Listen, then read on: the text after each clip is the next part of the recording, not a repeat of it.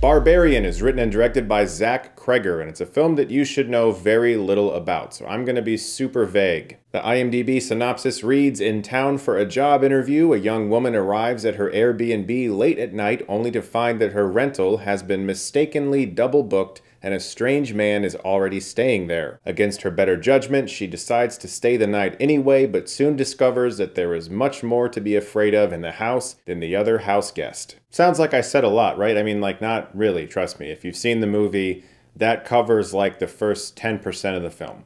This movie goes in many other directions. Barbarian is exactly the type of film that I have been begging Hollywood to make more of. A film that almost constantly reinvents itself. This is one of my favorite things to do in my own writing. I really like movies that change, that present themselves as one thing but quickly reveal that they are in fact something else. That can be really hard to pull off though because audience expectations are very important. When you set up characters, you set up what the plot seems to be, you get excited about that. You're interested in a character's journey or you want to see where they go, and when the film says not quite, it's very challenging to consistently reinvest the audience and tell them, no, I know you like that thing, but just wait a second, we'll get back to that, but here's this other thing. Watch this for a while. For some audience members, they might find themselves watching Barbarian, wondering when the Barbarian is going to show up, and at the end of the film, they might still be wondering that. But maybe those people weren't quite paying attention because there's a lot of great clues. Georgina Campbell as Tess and Bill Skarsgård as Keith are both fantastic in the movie, and Zach Cregger does a really good job of playing with the tropes that you might expect to see when there's a woman in danger in a horror film. When you realize your Airbnb is double booked and you're sitting in there with a stranger in the middle of Detroit in a very bad neighborhood, something as simple as a cup of tea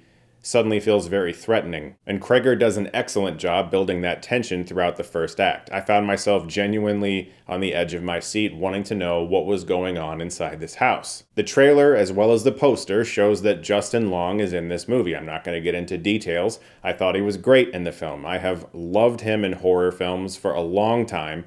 Jeepers Creepers, Tusk, he always picks very interesting projects that feel kind of out of the box, and this is no different. He's really good here, and he plays a character that also is going to challenge the audience. This movie exists in stark opposition to the Save the Cat book, which was a guide written for screenwriters by a screenwriter, Blake Snyder about making your protagonist more likable and following a certain structure to make your films work and make them sell and generate more box office revenue. I've read that book, and while it certainly makes a lot of good points, it never really gelled with me, and I felt that it was a way of making scripts feel more rote and familiar whereas Barbarian is completely different from anything I've seen in a very long time, and that's exactly what I liked about it. It withholds information from you for so long and it challenges the audience to be okay with that. And if you're a patient viewer, I think that's really going to pay off for you. I had a really good time with Barbarian and I would strongly recommend seeing it without knowing anything other than the trailer